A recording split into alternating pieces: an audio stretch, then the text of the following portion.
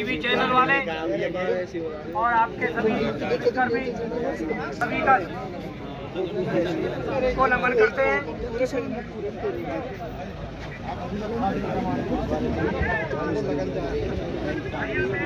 साथियों, बड़ा दुख का विषय है कि भारत बंद